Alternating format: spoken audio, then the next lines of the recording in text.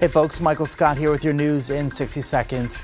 Border Patrol releasing new arrest numbers. Earlier this month, they reported a drop in the number of arrests for the eighth straight month. Numbers are falling since the peak of last May. At that time, more than 144,000 people were caught crossing the border. Last month's numbers, agents apprehending just over 36,000 people. A man accused in a deadly shooting in Starr County has been charged with murder. Alejandro Baron is accused in the shooting death of Arturo Gomez Jr. It happened in the Garceno area last week. Police say Gomez was taken to the hospital by a group of people where he was later pronounced dead.